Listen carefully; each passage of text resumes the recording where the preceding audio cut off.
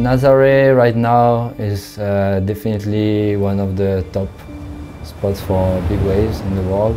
One of the scariest wave and because it's so famous and there's so much uh, noise about this wave and so many people are saying how scary it is that for sure it was really intimidating to to go sail there and I, I remember the, the first day when I got there the, the waves were not that big but still the feeling of the place was a bit yeah intimidating. Like really this cliff this big beach and not so much people and the shore break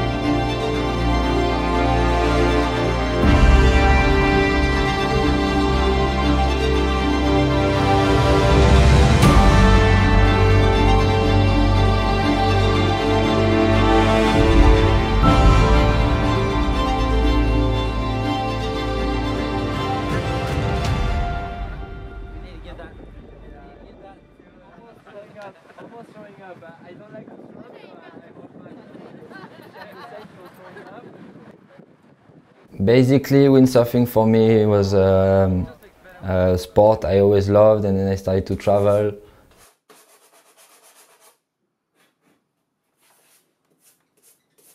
I, I love to come to, to Maui. Um, it's one of the best places in the world to windsurf. You can have great conditions, uh, big waves, and all the best riders are here. So, yeah, it's a really important time of the year for me when I'm in Maui. But as much as I liked being here, um, sometimes the crowd and the competition in the water just feels a little bit too much. And that's why I really need uh, to, to escape and, and go to other places.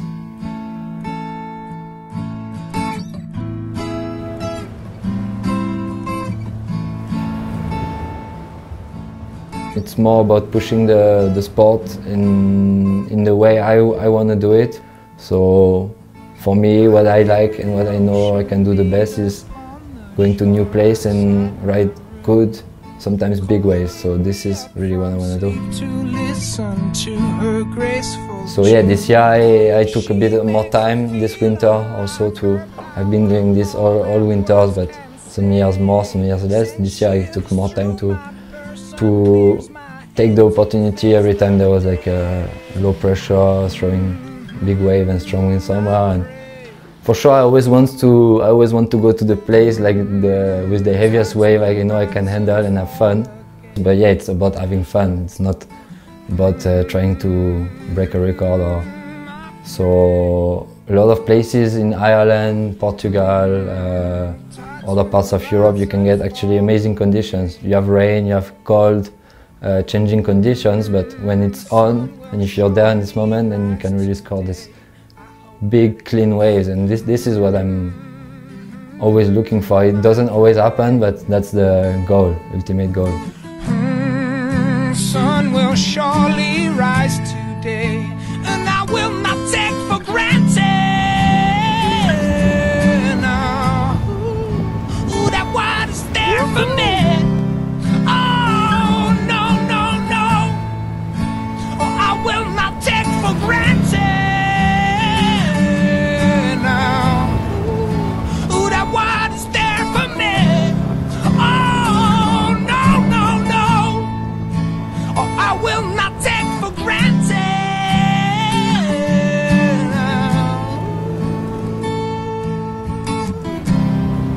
always try to get prepared as much as I can before, looking at maps, pictures, video, forecast, everything, trying like really get as much information as I can. So it's all these little things and uh, it's like a game, little game. So uh, in the end, it's not so much sailing compared to uh, the, all, all the time spent just thinking about it, but uh, that's why when it happens, it's even more tasty and and that's the only way to score these conditions.